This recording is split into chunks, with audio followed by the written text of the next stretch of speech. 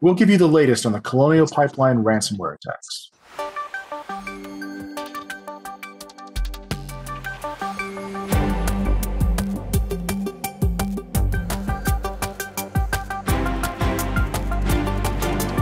So, Matt, tell us about this um, attack on the pipeline in the U.S.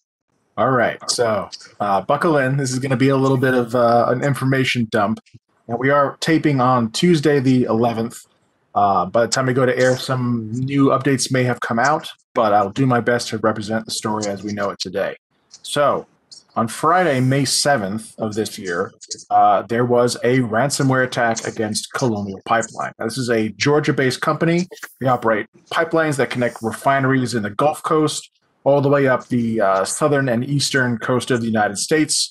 So, roughly 55,000 miles of pipeline that moves gas, uh, diesel, jet fuel, home heating oil, a lot of different stuff. And some of these pipelines have been around since the 1960s. So, big company, might not have heard of it until this week uh, if you don't actually keep an eye on that sector, but um, everyone's aware of it now. Uh, so they, they move about 40, 45% of the total fuel consumed on the East Coast, uh, 2.5 million barrels a day. And they had a ransomware attack and they shut down their pipeline as a precaution. At least that's the story we're hearing from outside uh, to prevent whatever was happening to them from spreading to the operational parts of the pipeline uh, from the, comp- the compromised network to sort of segment it. So, where do we stand on this today? So, the FBI has identified this attacker malware as DarkSide. Now, DarkSide is both a attacker group and an attacker malware. Uh, FBI was probably intentionally just saying the malware is DarkSide as opposed to blaming it on the group. But you can draw your own conclusions, I suppose. Um, DarkSide does use their own malware. They do have a reputa- reputation, and they have responded on their blog uh, to the the newfound attention that they've gotten themselves, and they seem to be claiming that this is the work of an affiliate or someone who had hired them to do the work and not their own. Which is a weird thing to say, honestly. They try to represent themselves as some sort of uh, ransomware as a service organization. Um, one way or the other, they are involved with this, is, is how it seems. Colonial's in the remediation phase, working to bring their IT and pipeline back on in incremental fashion. Uh, they are working with what they said was a, a professional organization, but I believe uh, FBI or another government organization has stated that definitively it is Mandiant who is working on this, and the government is providing support to uh, Colonial as they work through this on their own with Mandiant. Um, neither Colonial nor the FBI has stated definitively one way or the other if anyone's paid a ransom. So, any questions at this point? It it's it's a crazy story that just the way everything I've been reading about it, Matt. And one of the things that I found really interesting was that DarkSide really seemed to come out and say um, essentially that uh, we're going to do our attempt at better moderation in the future. We don't want to be responsible for uh, taking out, you know, uh, in, uh, infrastructure or you know impacting. And, and I found that statement kind of interesting because I said, how how do you determine what's a good target versus what's a bad target? I've read about this, and from what I've heard, they seem to have some level of a code of ethics, which is a weird thing to say, that they won't attack hospitals or schools or essential functions. They, intended to attack only companies that have, you know, that make tons of money and can afford to pay these sorts of ransoms. Apparently, either they got their wires crossed and they accidentally did it, or somebody who works for them or is a business partner of theirs accidentally did it, uh, or they're they're just not being truthful about this whole thing either way, um, it's a bad situation to be in. So the government is has uh, made a sorry. So the government, the U.S. government, has a regional emergency declaration that allows alternate transportation of petroleum via trucks. I think extended hours for truck drivers to allow uh, trucks to cover some of the the the fuel that could not be carried by the pipeline. So at least the the shortages are somewhat relieved. Um, this is going to be effective from 5 9 until the emergency ends or until June 8th, whichever is sooner. Um, FBI is involved, Energy Department is involved, DHS, uh, CISA is involved. Um, the impact is something I haven't been able to completely nail down yet, and I think is one of the things that's going to change rapidly from day to day. If it becomes worse, um, I saw that there was uh, shortages reported in seven states. Um, the national gas price average moved up to two dollars and ninety seven cents a gallon, which is the highest since 2018.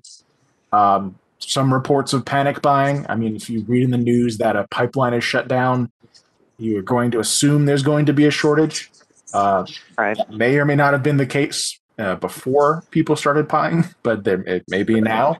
Um, something that I really have to do more research on to definitively say whether we're facing a gasoline shortage, but it's been only a couple days. One of the the luckier things, uh, which again weird to say, is that COVID nineteen has definitely cut back on the number of people commuting, a number of people moving around, uh, going into offices. So the, the the demand for energy is actually lower. Um, this Right. could have happened at a worse time, to be honest. So yeah, it, it, it's interesting the article and and how uh, we've had that fear. Um, actually, we as in the U.S., but I guess all over the world.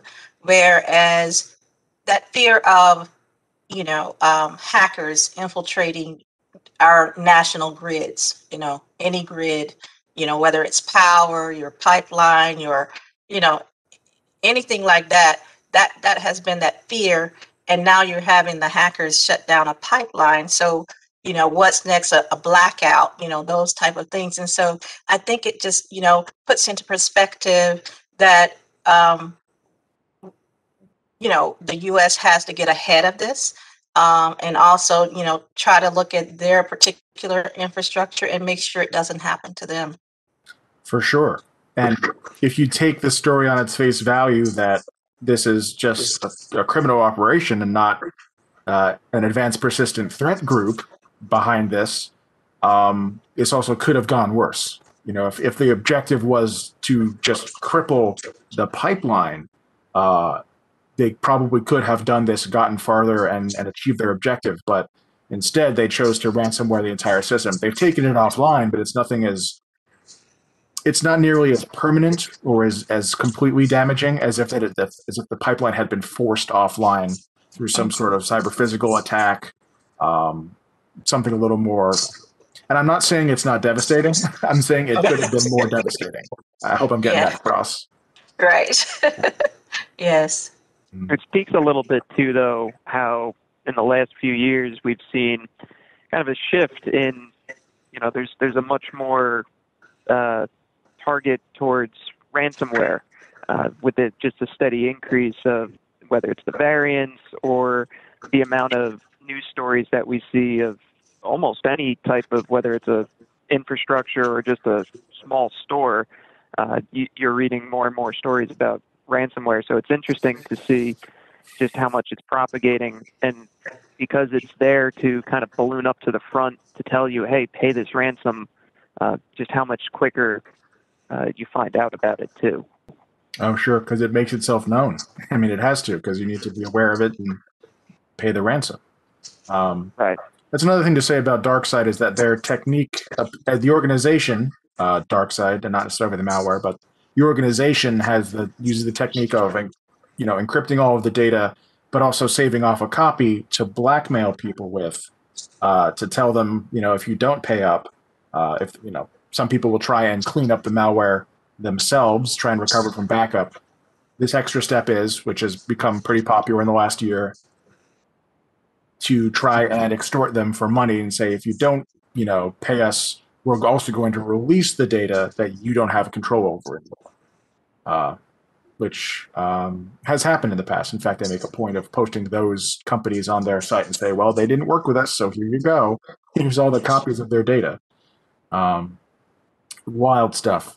Uh, I did read a Krebs article today. Um, Krebs on Security did post what appear to be screenshots of a conversation with the DarkSide ransomware crew um, and their discussions and negotiations. So they do seem to be businesslike in their their dealings, um, making guarantees that they won't, you know, share their data, and apparently following through on them.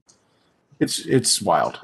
Um, so I think we we still have a lot of unanswered questions. Uh, again, FBI stated this is the DarkSide malware, not necessarily the crew, so not really attribution. Um, we don't know whether or not the ransom was paid, but that may that's a question. Is that up? Is that really the business of anybody besides the people involved? I'm not sure. Um, ultimately, the biggest concern is getting that pipeline back up and running, and that seems to be already um, moving forward. So, however that's been achieved, uh, it seems that this this may this may be a short-lived crisis, and hopefully uh, the pipeline is back up and running before any major impact occurs uh, to the point where we have a shortage or a spike in gas prices or any other side effects. Yeah, great article. Um, it, yeah, it just it, it just puts in perspective that you know uh, hackers are out out there just you know uh, looking for the next biggest thing, and it's it's always uh, uh some type of monetary motivation you know, with these, these, these well, most hackers, you know, it's, it's the motivation behind it is money.